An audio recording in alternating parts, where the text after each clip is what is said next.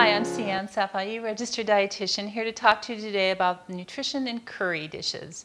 So curry is a, a, product that is found from curcumin, which is very, very strong antioxidant.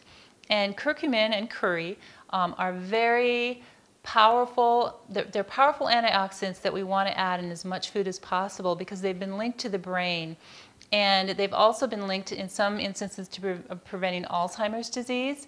So it's got a, but curry has a unique taste. So unless you like Indian food, sometimes we wonder what to put it in.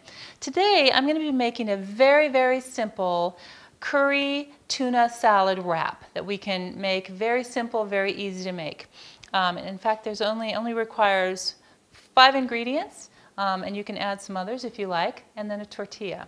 So the first ingredient is tuna, and this tuna is in water because I, I, don't like the extra calories from the oil. A water packed tuna. I'm going to add it to my bowl.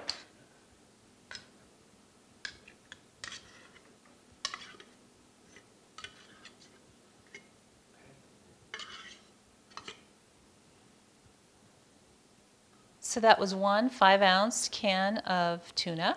Now I'm going to add, um, you, traditionally tuna salads use mayonnaise, but I like to use Greek yogurt instead of mayonnaise. And the reason I like to use Greek yogurt is it's very creamy, it's very rich, it gives a very nice, um, creamy, and a little bit of a bite to the tuna fish. And so very thick, it's not your, your normal looking yogurt, and it's a little bit higher in protein as well.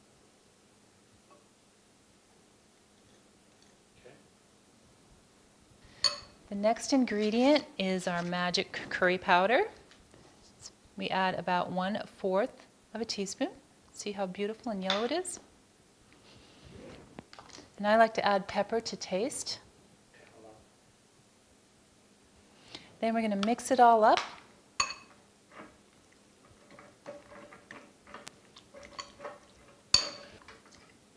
You can also add things like celery to this if you'd like. Now, I like spinach on mine, on my um, wraps. So I've got a lot of spinach here, making a delicious salad. I also like little baby tomatoes. You can use sliced tomatoes if you like. They're so sweet and tasty. High in lycopene, another antioxidant. There you have it. Now we're just going to pour this on.